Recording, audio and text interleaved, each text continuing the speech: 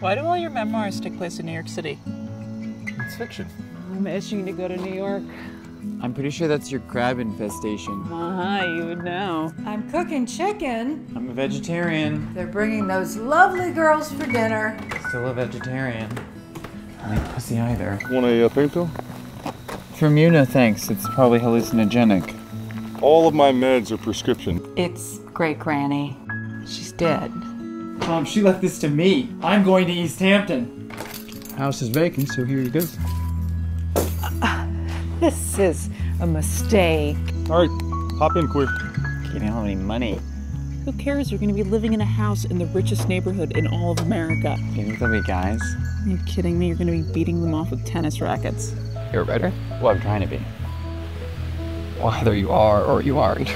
Last night, I mean, I got so drunk. It's Here for you. The House has to be sold. I'll look like a crook. You are a crook. Hampton Such. It's great for runners. Great for your calves. I like you. You're cool.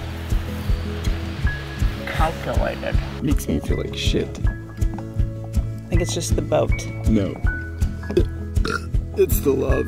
For what? What were you just going to say to me? Before. It's not gay if I'm the one getting it, No, right? it's still gay. He's a gold digger and he's shady. Yeah, I'm pretty sure it's still gay. Hey!